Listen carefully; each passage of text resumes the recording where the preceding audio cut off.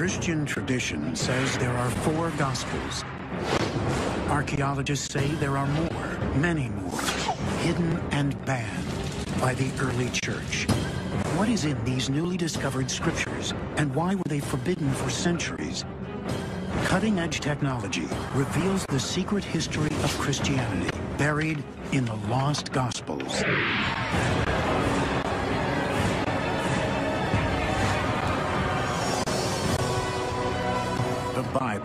It is sacred scripture to billions, full of miracles and mysteries. Yet new breakthroughs in technology suggest that the fantastic tales and miracles have a basis in fact. Can science reveal the truth behind the Bible's greatest mysteries?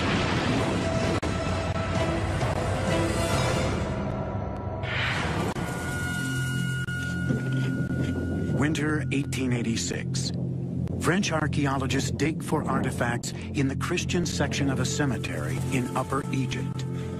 Suddenly, they make a discovery that shakes Christian history to its core. What they uncover is the long-forgotten grave of a monk buried in the 8th century. But the real find is what the monk is taking with him to the next world. Those who buried the monk apparently took this little papyrus book and put it with the monk so that in a way he could go into the next life with one of his favorite books. It includes not Matthew, Mark, Luke, and John, but it includes the Gospel of Peter.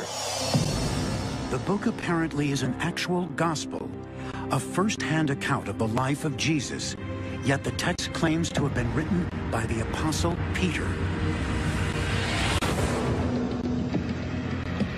For nearly 2,000 years, everything Christians knew about Jesus came from the Gospels of the Christian Bible, accounts by Matthew, Mark, Luke, and John. Could this be an actual lost account of the life of Jesus, written by Simon Peter, the hand-picked leader of the apostles? The discovery set off shockwaves throughout the world of biblical scholarship, and that shockwave continues as new gospels, lost gospels, emerge from numerous archaeological digs. The Gospel of Thomas, the Gospel of Mary Magdalene, and even the Gospel of Judas. The discovery of the lost Gospels also reveals a secret battle, now forgotten but once vital.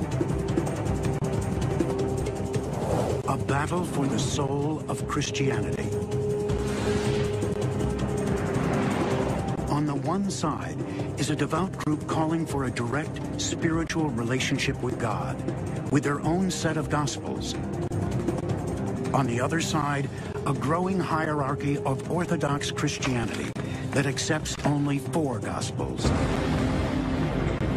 The result of this battle would determine the future of Christianity.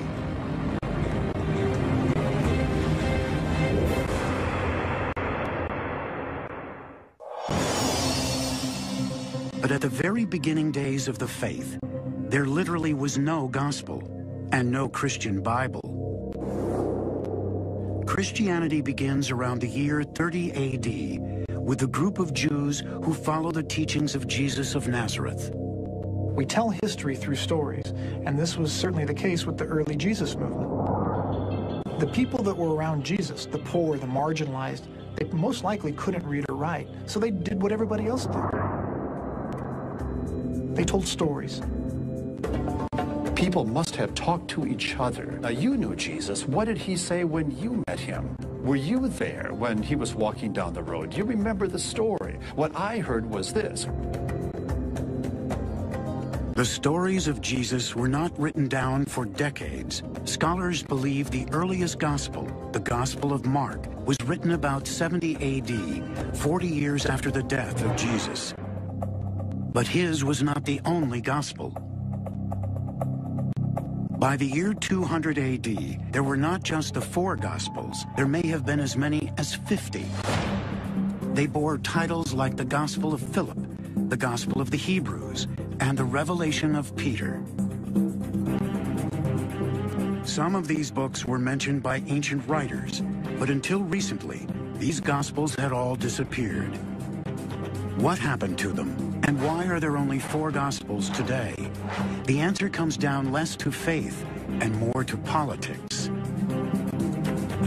The Bible didn't fall out of the sky. The Bible was finally put together by Christian thinkers who represented a particular point of view. The surprising fact is that the Christian Bible as we know it didn't really emerge until 300 years after the death of Jesus. And the man who determined the content of the Christian Bible had a powerful agenda that had little to do with religion.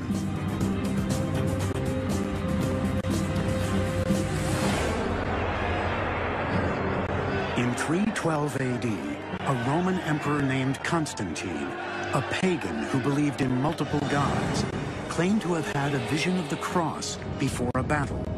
After his victory, he became a convert to the religion of Christianity eventually making it the semi-official state religion. Constantine wanted to harness this new religion in order to unify a Roman Empire that was falling apart. At that time, Christianity was a loosely organized religion, a collection of churches with diverse beliefs and diverse scriptures. The emperor intended to change that. What he noticed, however, was that these people aren't very well organized. And if there's one thing that Romans knew how to do, it was to get things organized. In 325 AD, Emperor Constantine convenes the Council of Nicaea to decide the basic tenets of Christianity. He brings together the most powerful church leaders from around the world to discuss legalizing a formal Christian religion. One of the interesting things is it becomes clear that what he is primarily interested is in unity. He wants the Christian religion to provide the ideological basis for the empire. The goal of Constantine's council was to unify the faith, both religiously and politically. After weeks of debate, the various bishops and priests agree on a set of principles that unify all of Christianity and place the religion firmly under the control of the emperor. And he then used his authority to say, okay, guys, this is it. Things got drastically changed under Constantine. We have a complete redefinition of how God is to be understood God now is the protector of the state, which then seeks to use the religion for its own purposes, to unify everything, because you can't have much dissent and run a state. Constantine also unified the Christian Gospels and limited the Gospels he considered fit for the state religion. Though the Nicene Council did not officially decide on the content of the Christian Bible, Constantine made it clear which Gospels he considered acceptable. He commissioned the creation of 50 copies of a Christian Bible, which contained only the Gospels of Matthew, Mark, Luke, and John. What happened to the other Gospels? In 382 AD, another church council literally banned Christians from reading them. Under the Christian emperor Theodosius, all other Gospels were considered heresy, were banned or buried, their owners arrested, and sometimes killed. There were all these other texts that real believing Christians loved. And for a long time, it must have been read until the bishops came around to say, Thou shalt not read this, but thou shalt read that. What was contained in these lost Gospels? What made them so threatening that they had to be banned or destroyed? No one knew for nearly 2,000 years. But in 1886, the Gospel of Peter emerged from the sands of the Egyptian desert. Other astonishing discoveries followed in the 20th century. The Gospels of Thomas, of Mary Magdalene, of Judas. These lost Gospels reveal a very different view of Jesus, a different approach to spirituality, and a lost version of Christianity that once threatened the very foundation of the faith itself.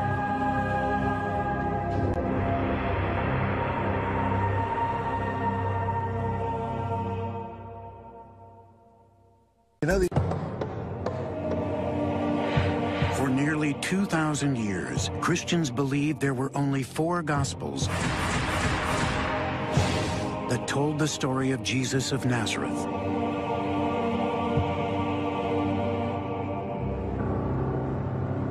In 1886, the Gospel of Peter was the first lost gospel discovered in centuries, suggesting the existence of a secret history of forbidden scriptures. In 1945, a remarkable discovery unearthed a large collection of lost gospels and changed forever the history of Christianity.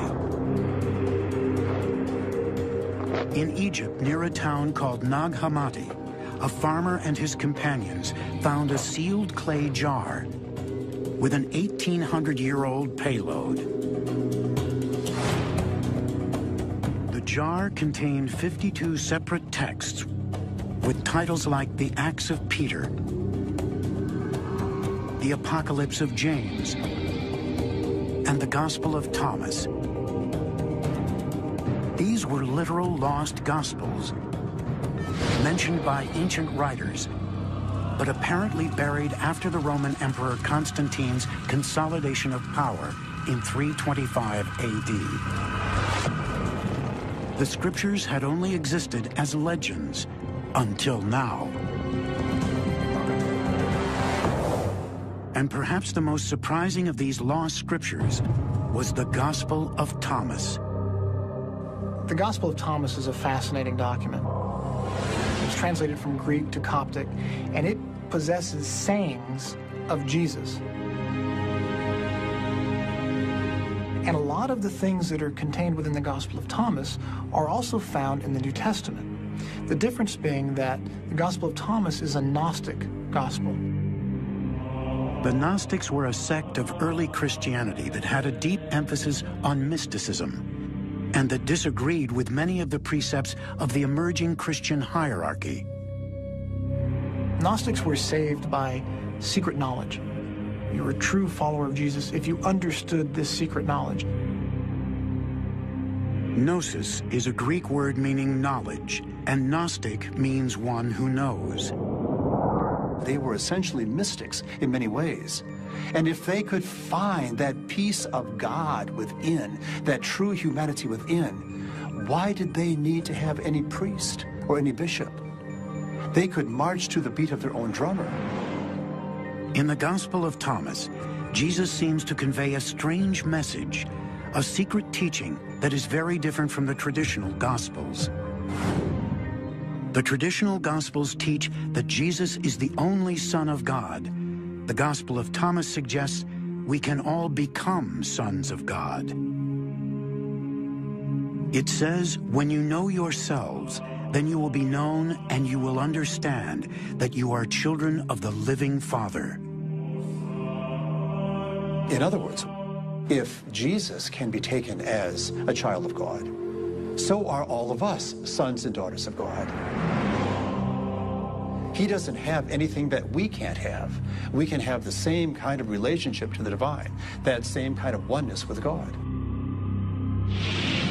The Gospel of Thomas calls for a personal connection to God without the need for organized churches, priests, and bishops. Were lots of priests and bishops who took offense at these Gnostics, who had their own way, had their direct kind of line, their red telephone to the divine. That did not sit well with the authority figures in the church.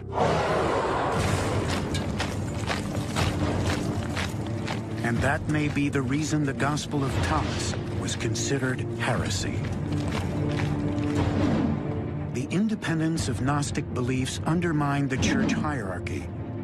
The Gnostics believed their own Gospels were just as valid, if not more so, than Matthew, Mark, Luke, and John.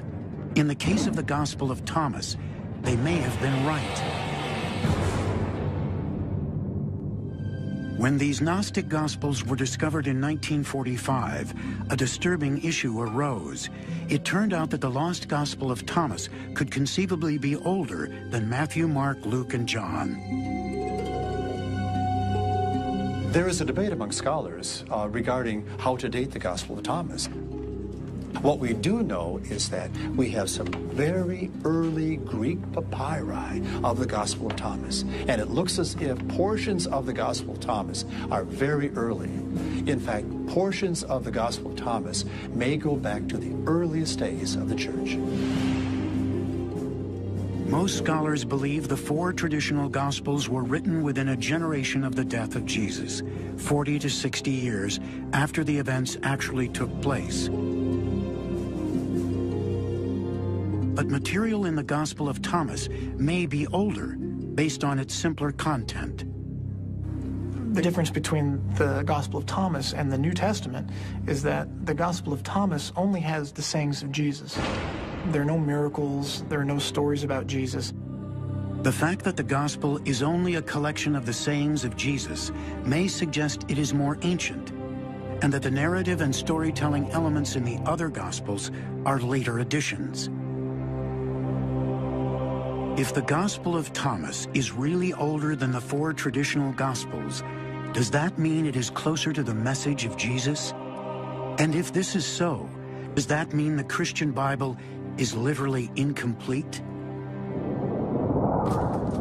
The answer may lie in finding the exact date the Gospel was written.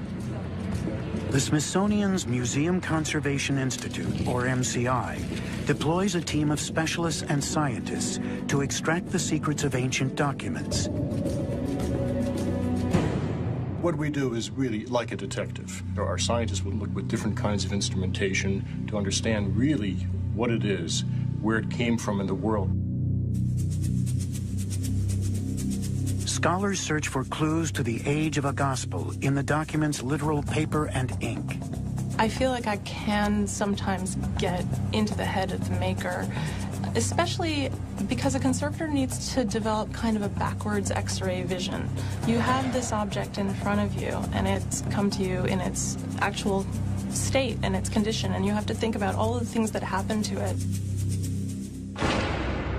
The Gospel of Thomas found at Nag Hammadi was given a carbon-14 test.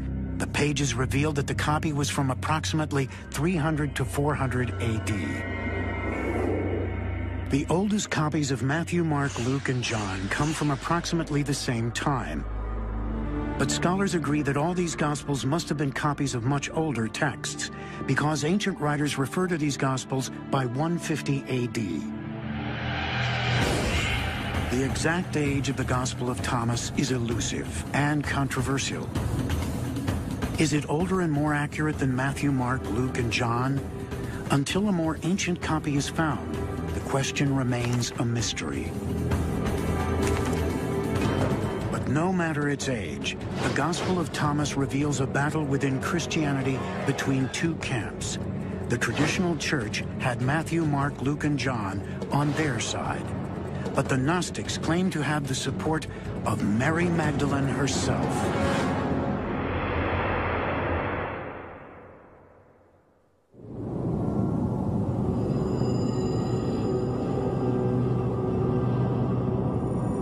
For centuries, Christians believed that there were only four Gospels that revealed the life and message of Jesus of Nazareth. But that belief changed in the late 1800s with the discovery of the first lost Gospels, One of the most compelling of these forgotten scriptures was discovered in Egypt in 1896. A gospel with a very surprising author. It is a gospel written in the name of a woman. And not just any woman, but apparently Mary Magdalene.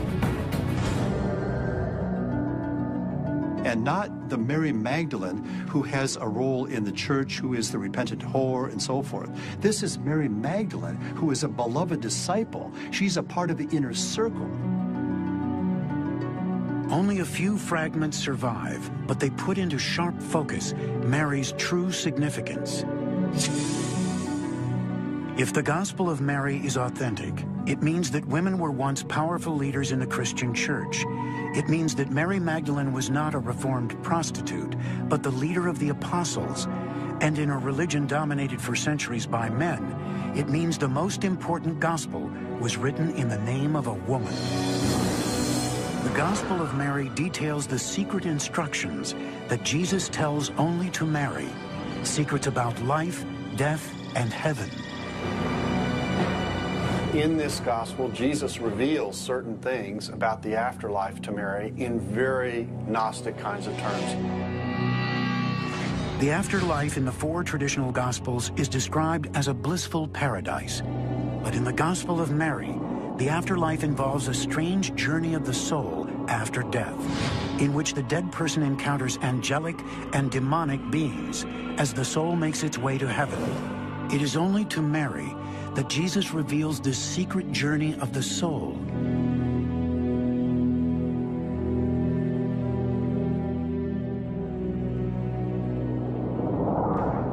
The Gospel reports that Peter, the leader of the apostles, reacts explosively to this revelation.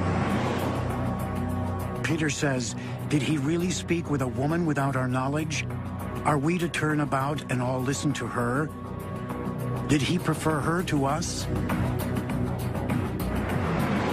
In the Gospel, the apostles override Peter's denunciation and support Mary, saying, If the Savior made her worthy, who are you indeed to reject her? What is significant is that there was a spiritual kind of bond, that Mary was thought to be a person of insight, a leader, somebody who had an ability to motivate others, and that was her real gift. She understood the mind of Jesus and was able to communicate that.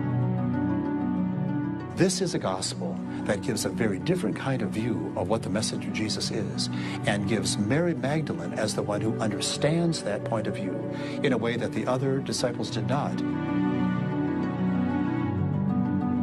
But is this text a real gospel? The eyewitness account of Mary Magdalene? If so, it might change Christian history and revolutionize the role of women in the Christian church. The key lies in the Gospel's age. Is it older than the four traditional Gospels? And could it have been written by Mary Magdalene herself?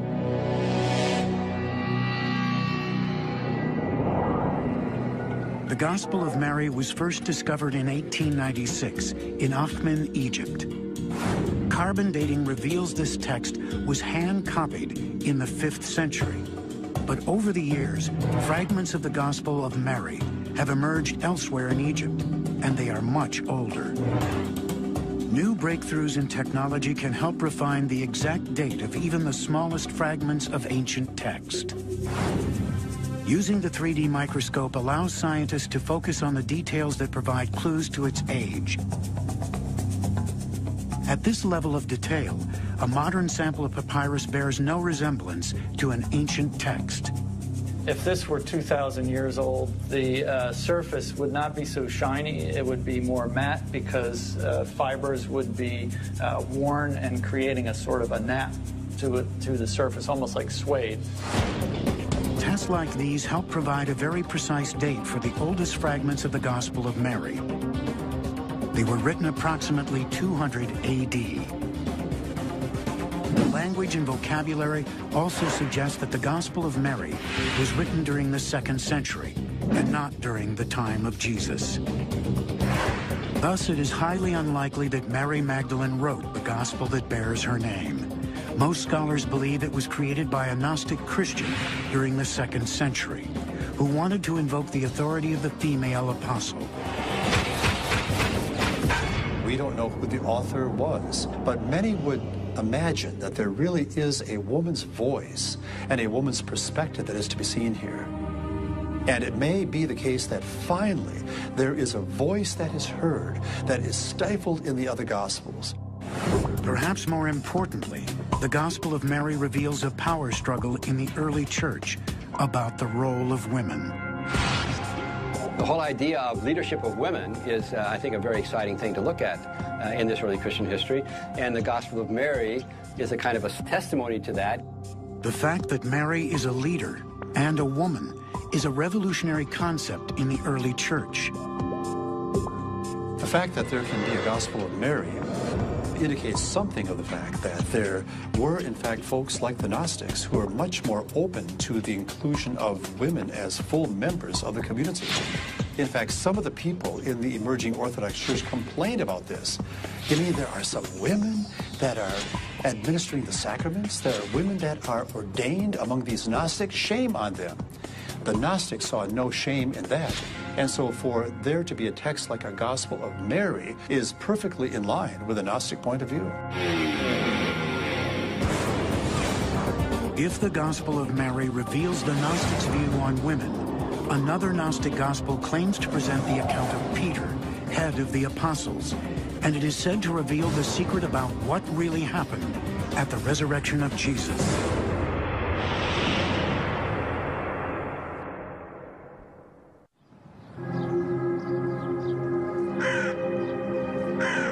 In 1886, French archaeologists working in Egypt uncovered an ancient Christian tomb with an extraordinary treasure. Clutched in the hands of an 8th century monk was a book called the Gospel of Peter. It was one of the first lost Gospels ever discovered. Could this be an actual lost account of the life of Jesus, written by Simon Peter, the hand-picked leader of the apostles? If so, it would change the history of Christianity, for the Gospel of Peter tells a very different version of the life of Jesus. What we have is very precious and very exciting. It's an early story, but an alternative story. In the Gospel of Peter, the Romans are surprisingly sympathetic. It says Jesus suffered no pain on the cross. The most shocking difference, the Gospel of Peter claims to reveal an eyewitness account of the resurrection itself. It is the only gospel that we have that attempts to tell the story of what happened during the resurrection.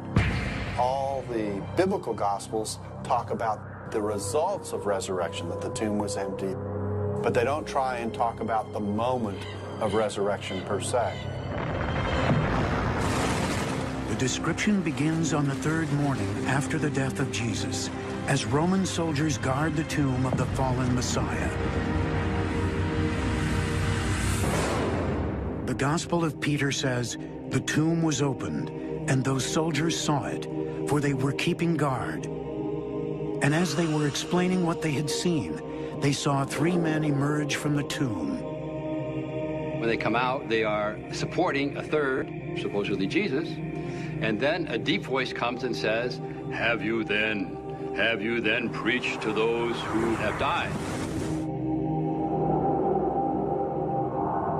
The resurrection ends with Jesus and the other figures rising into the sky, leaving the eyewitnesses to stare in wonder. The gospel ends with a line claiming that it is the eyewitness account of Peter the Apostle himself. Could this book really be the work of the lead apostle, the first pope? Was it written at the same time or earlier than the four traditional gospels? Or was it a later account, a forgery passing itself off as the eyewitness testimony of Peter? The archaeological evidence is unclear. The gospel found in 1886 was dated from around 700 AD, seven centuries after the death of Peter. Fragments have turned up in other sites from approximately 500 AD, still too late to have come directly from the apostle. You're gonna have a wonderful time mosaicing these things. Thank God I'm not gonna have to do it.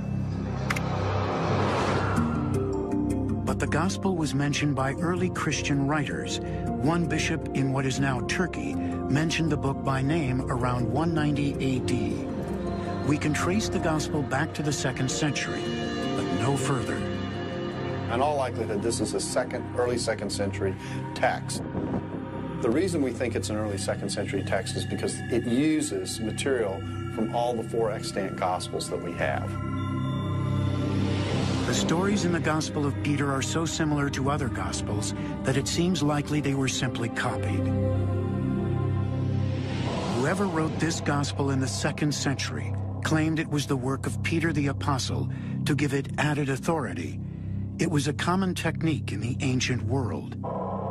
When some people wanted to communicate some idea that they felt was true or important for the early Christian movement to hear, they wouldn't say it in their own voice, but they would say it in the voice of someone who they understood to have authority. In that sense, the Gospel of Peter was not a real account, but a forgery. But that brings up a point that is important and disturbing. If the Gospel of Peter is a forgery, then the Gospels of Matthew, Mark, Luke, and John are also forgeries. We don't know who those authors were, but they were written in the name of Matthew and Mark and Luke and John, because these were the great folks of the past. The fact of the matter is, they almost certainly were not written by Matthew, Mark, Luke, and John. Most scholars agree that even the four traditional Gospels were not written by the apostles for whom they are named, but by followers of those apostles. If the Gospels of Matthew, Mark, Luke, and John are not in fact written by the apostles, then does that mean that the Gospel of Peter or the Gospel of Mary may be considered just as authentic? The answer is still unclear to historians. But there are elements in the Gospel of Peter that suggest it is not an eyewitness account by anyone, much less Peter the Apostle. The tale it tells contains highly suspect material. In the resurrection scene, Jesus and the two angelic beings are said to stretch up beyond the clouds. And behind Jesus in the tomb emerges the actual cross, which speaks. The gospel says, they heard a voice from the sky. Have you preached to those who were asleep? And the reply came from the cross, yes. The Gospel of Peter was too fantastic. With these big guys whose head goes above the heavens and then a cross that talks. I mean, that that's too much for anybody to believe if they want to be down to earth and sober in the early church. That may be one reason the Gospel of Peter was not accepted as a gospel when Constantine convened the Nicene Council. Yet there were still pockets of devout Christians who considered this book sacred. Sacred enough to be buried with a monk around 700 AD. I rather like the idea that there's a monk that is hanging onto this text, not only in this life, but in the next life. The Gospel of Peter was discovered in 1886, one of the first lost Gospels ever found. And one of the most recent lost Gospels was only uncovered in 2006, a scripture that gained immediate controversy because it was said to be written by the betrayer of Jesus, the lost Gospel of Judas.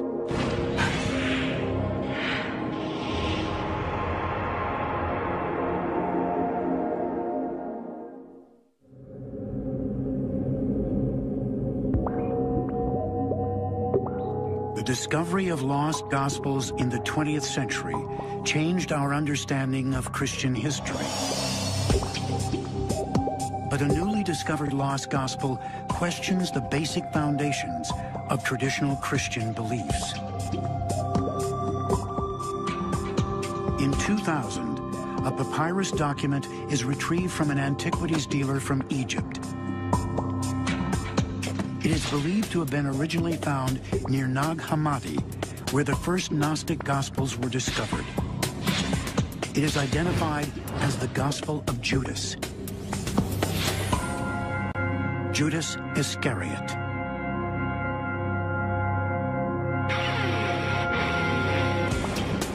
When it was originally released, the hype was that Judas is a hero, that he's gone from being the traitor of Jesus, as he is in the biblical Gospels, to being this one who's exalted into the heavens because he simply carried out God's will. In the traditional Christian version of the crucifixion story, Judas betrays Jesus to the Romans and is scorned as a villain. But in this gospel, the story of betrayal is twisted into a story of personal sacrifice. In the Gospel, Jesus recognizes Judas as the wisest of the apostles. It really is all about Jesus and Judas. Judas is thought to be a very special disciple.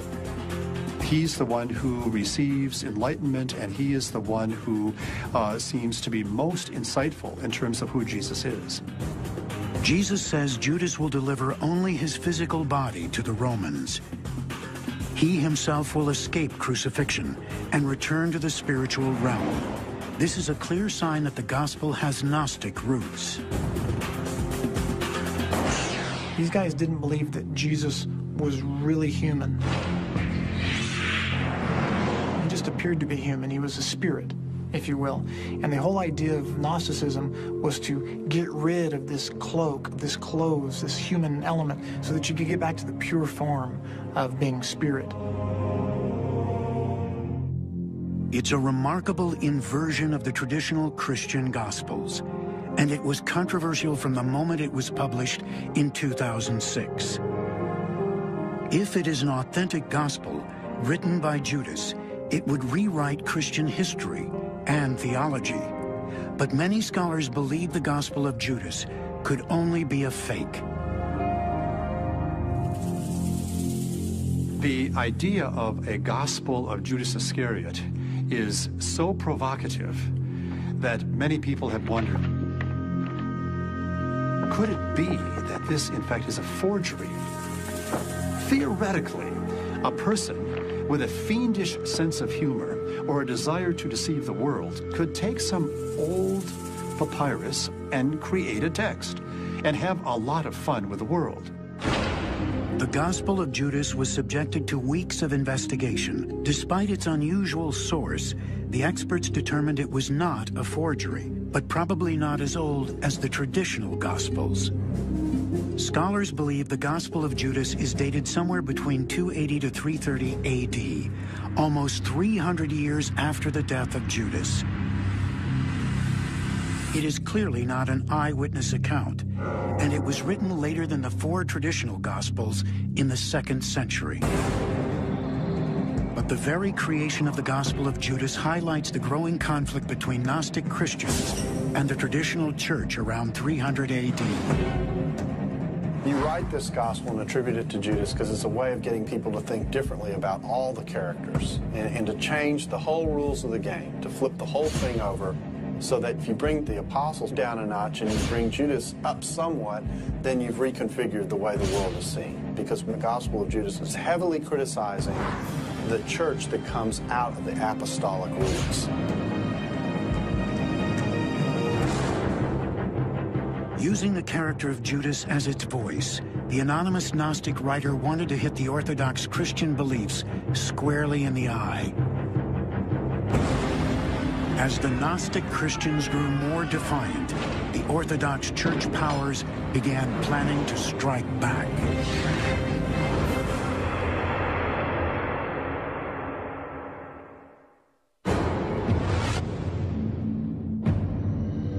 Before the Council of Nicaea, Christianity was not a structured organization. For its first 300 years, the Christian religion was a diverse faith, with various beliefs and various gospels. But by the year 300 AD, the Gnostic movement within the religion was seen as a threat to the hierarchy of priests and bishops.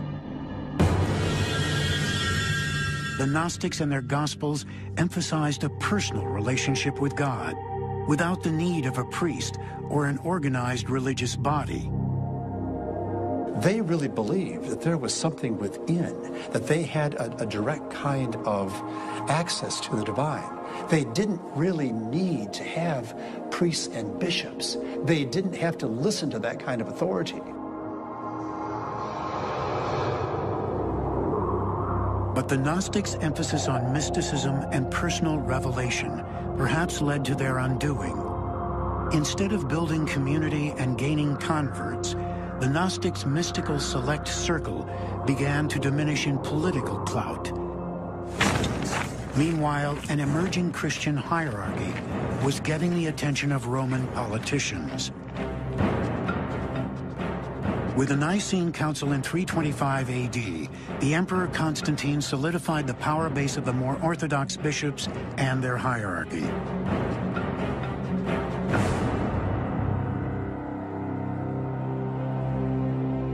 Four Gospels of Matthew, Mark, Luke, and John were in.